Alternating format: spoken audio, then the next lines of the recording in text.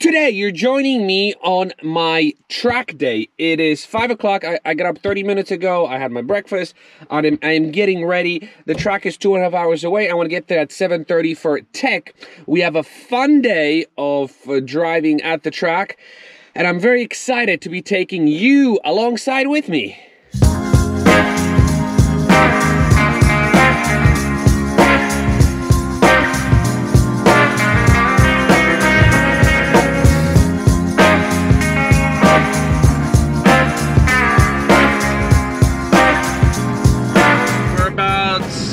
Miles away from the track, what I usually do is I usually stop by uh, Wawa, the free plug for Wawa, to get some breakfast, fill up, and be ready to go. The beauty of living in New Jersey, they fill up the gas for you.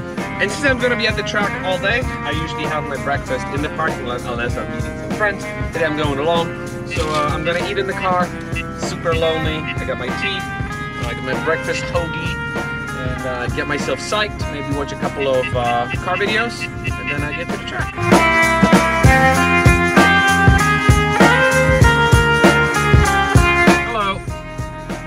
Sign one of these things, get my wristband.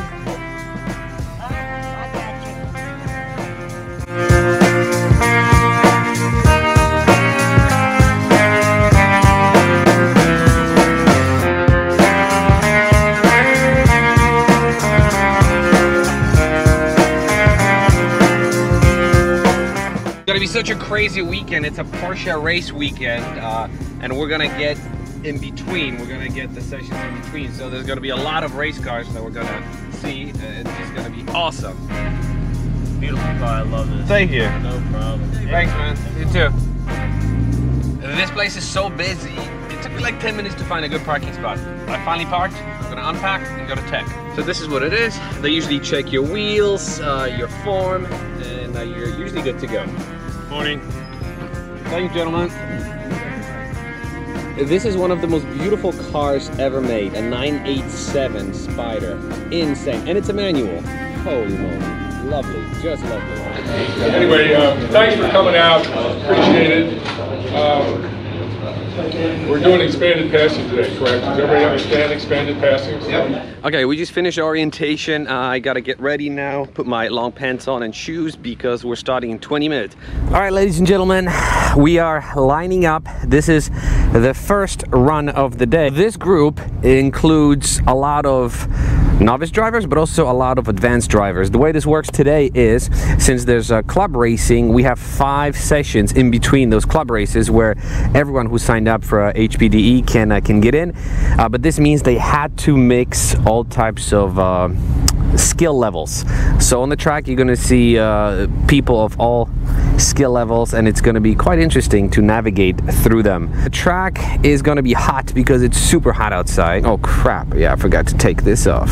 Now I know it's going to rob me of some power, but I'm running AC on. I'm going to put it on my feet only, and I'm running my cooled seats. And we're off. All right.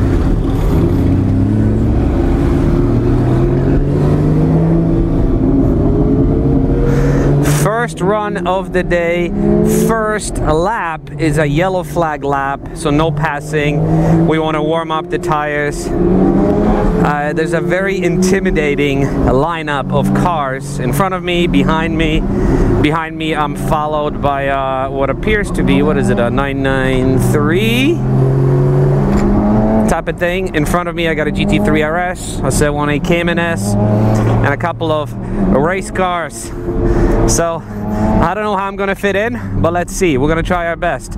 Yellow flag, once again, means caution. So we're gonna take it easy for the first lap, try to warm up the tires as much as we can. Oh, there we go. I can still feel the car slide. It's amazing what happens when the tires are cold versus when they warm up. You have so much more grip. And we get a first point by. Thank you, thank you, thank you. All right, ladies and gentlemen, first hot lap. Oh, that was uh, me getting used to the brakes. Yes. So the difference now between the last time I was here and uh, today is I'm a little chubbier probably.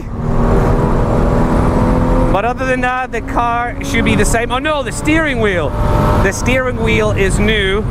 We've upgraded the steering wheel and it obviously feels fantastic. Whoa. Oh yeah. This car sounds so good. So good. Ah, the tires are warming up. They're still a bit cold, so they slide more than I'm used to. But give it another lap and they'll be fine. What I did yesterday with these track tires, I actually flipped them inside and out so I can get more life out of them. This is probably the last day I'm gonna be using them. And uh, next event, it's time to upgrade to a different tire. All right. There's a GT3 RS ahead of us.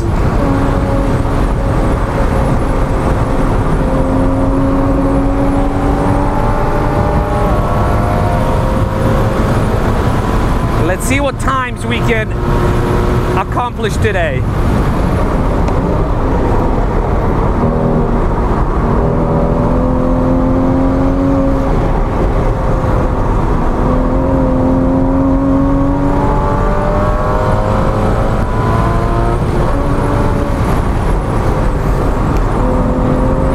There's a GT3 RS ahead of us. I am getting closer.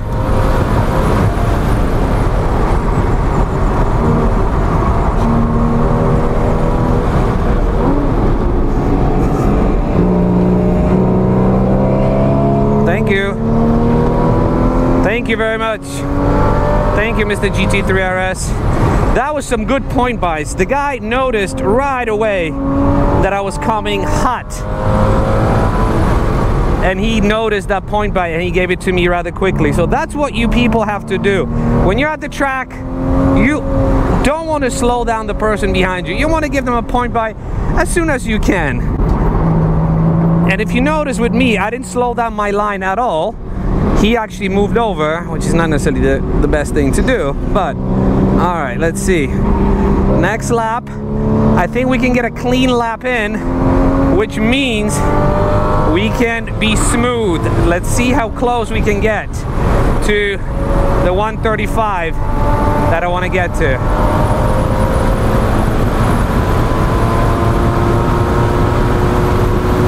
130 miles an hour braking. Oh yes. I gotta start using the curbs a little more, but this car feels so good. To those of you who want to experience proper, absolutely proper motorsport feeling, you need to get yourself in a Porsche and really try it. Yes, I love the M3 because it's fast, but it's not as nimble as a mid-engine car. And that sound that's behind me, oh my god.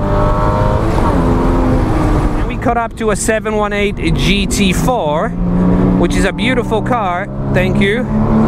Obviously much more powerful than me, thank you.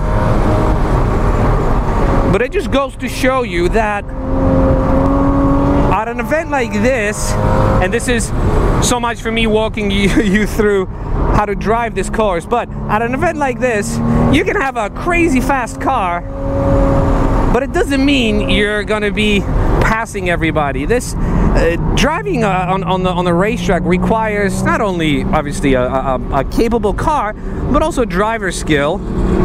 And uh, also, a lot of times, people are just not willing to push themselves to uh, to certain limits. I was talking to a guy who said, the guy with the TT3 RS, uh, yeah, TTRS, he said, yeah, I usually drive 810s, and that's that's totally respectable. I get it. I mean, you're doing 130 miles an hour and you got to slow down to about 70, that is nerve wracking. A lot of people just don't want to take that chance, so they don't drive as fast. So, as much as it makes me happy that I passed uh, a GT3 RS or that I pass all the fast cars, it's not necessarily driver skill, it's about what others are not willing to do. But I love this thing. Ay, ay, ay, ay. I missed this turn. I missed valuable time. Such clean laps here we can make. Such clean laps.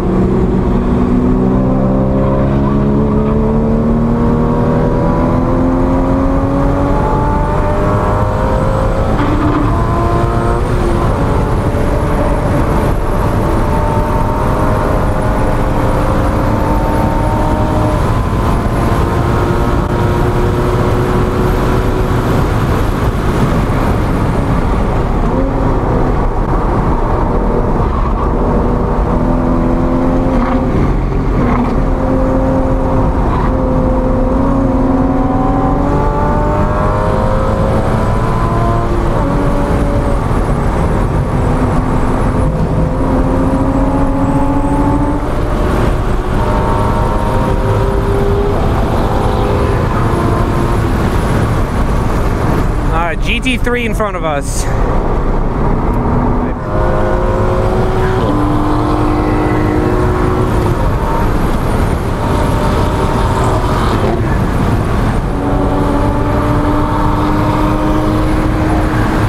All right, got Mr. Thick Whip on my sight. Target acquired. Let's go, Mr. Thick. Whoa, your back is sliding there, buddy. What's up with that?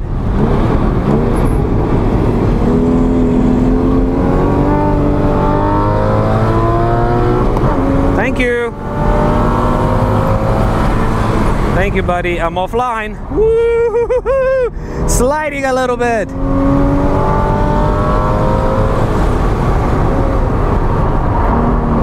Whoa, whoa, whoa, whoa, whoa, whoa, whoa, whoa, whoa. Tire's getting a little greasy there. A little sketchy. Oh, ho,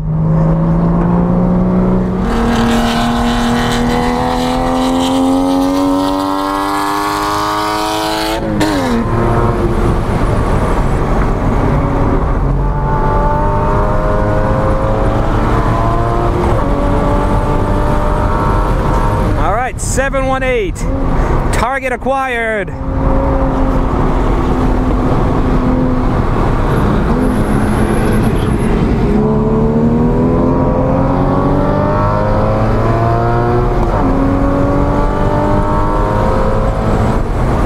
All right, so we just got finished with session one.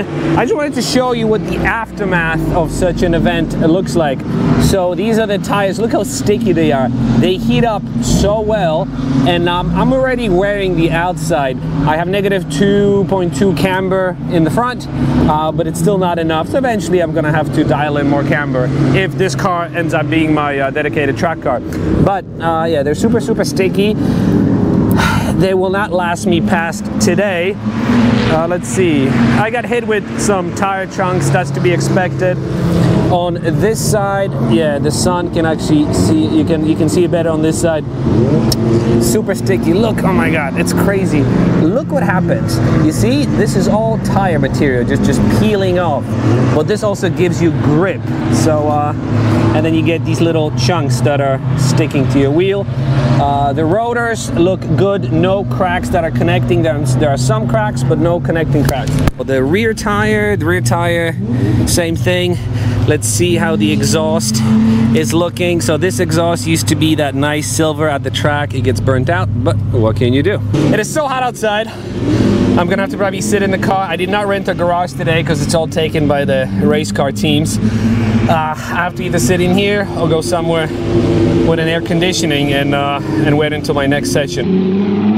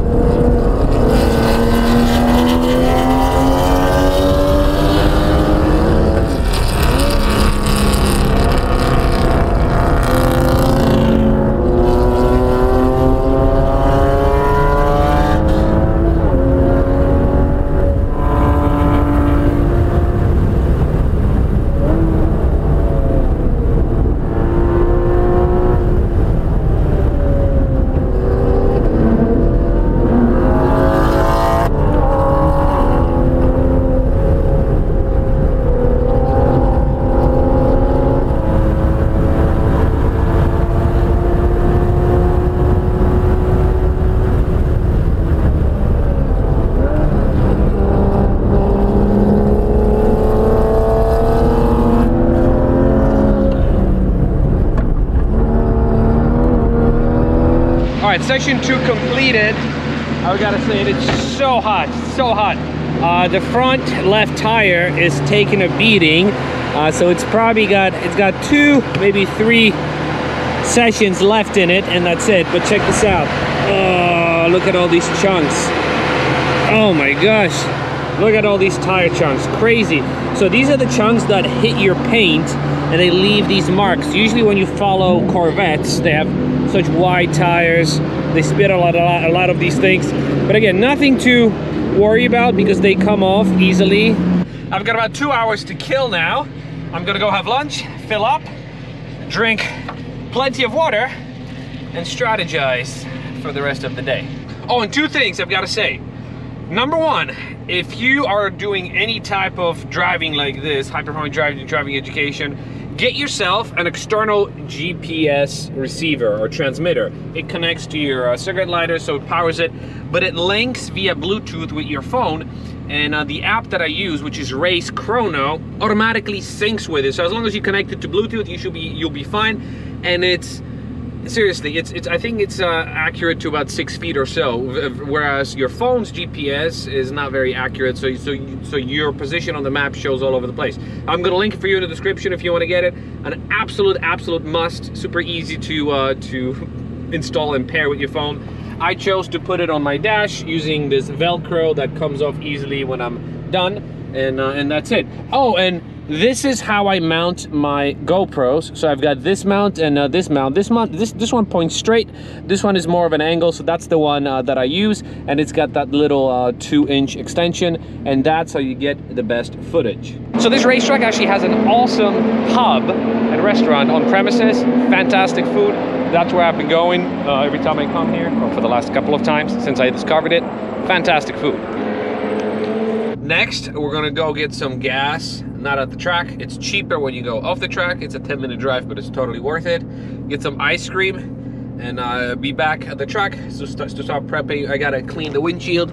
Look, there's a huge tire chunk that I need to clean. And uh, in between sessions, I always clean the windshield just to make sure I have good visibility. I don't know about you, but I'm all about this Mickey Mouse ice cream. So good. And for dessert, after my dessert, we got this uh, Snickers ice cream.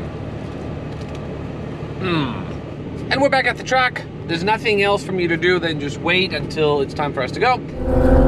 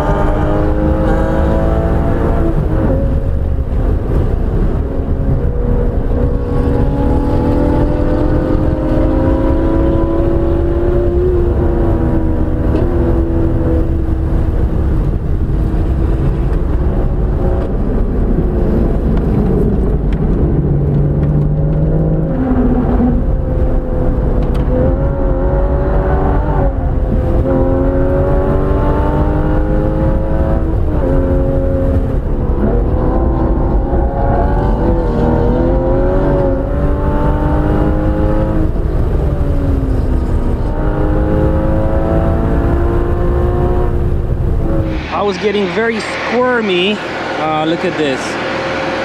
Nice and even wear. There's a bit of wear on the inside. What is this? Look at all the gunk. And we're done. I just finished session four and I packed up. For some reason, session four didn't record. But, oh my gosh, I'm so exhausted. There are five sessions, I just cannot do the fifth one. It's the end of the day. Uh, I, have been, I made some mistakes in the last session, so I just want to call it quits. It's 105 degrees. It's just impossible. But when I was packing up the car, I started thinking, check this out. How much more of a daily driver or a fun car do you need? Check this out. All the stuff that I brought with me, everything packed up inside. Uh, don't mind the cover, I, I left it in the garage. So look, I have my backpack, my jack, my helmet, everything fits in here we're gonna have to do some cleanup when we get home. Inside, nothing inside, no clutter. But then in the back, check this out. Look, I got my toolbox, some clothes, some water and all, and blankets and all that stuff. Everything fits. Now, what I'm gonna do next season, most likely, if I end up continuing to track this car, I'm gonna do a little trailer attachment so I can tow extra wheels and tires because it would be nice to have a set of dedicated slicks and I'm 150 miles away from the track. I just don't want to drive on slicks. Anyways this is really it. This is what you can expect when you go to these uh, high performance driving uh, education events usually there's a lot more hanging out with people but it's just it's so hot that you either sit in your car where, where, there's AC or you go somewhere where there's air conditioning. It's just, it's close to impossible to hang out outside. But there's a lot of amazing cars. The race is, is happening, or the practice rather is happening, and it's uh, there's a lot of loud cars. Uh, there's a lot of camaraderie, camaraderie. Everyone's super friendly. No matter who you walk up to, you can you can talk cars and and they'll spend uh, a lot of time talking to you. And you, you get to uh, learn a lot. And you get to learn learn about you and in your car. And you get to improve your driving skills. So if you haven't signed up yet try it. It's not uh it's not too too expensive. If you haven't done this yet you can just bring a stock car and you should be good to go. The only thing i recommend is uh, flushing your brake fluid. Other than that it's all set. Anyways uh let me know what you thought of this video. If you, have any questions or comments, leave them down below. As always, thank you very much for watching and I'll be seeing you in the next video. Bye-bye.